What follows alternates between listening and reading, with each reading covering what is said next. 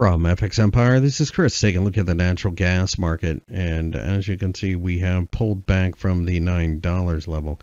We rallied a bit, uh, have fallen, but really at this point, I think we're probably going to see a little bit of a pullback. I've been thinking that for a while because of the overbought conditions.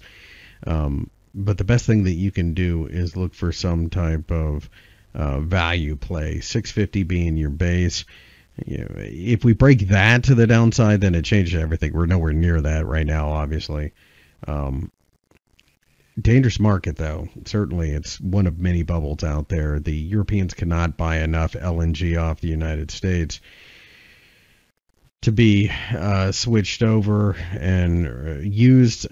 They're eventually going to have to give in to the Russians, and that's what's going to pop this market.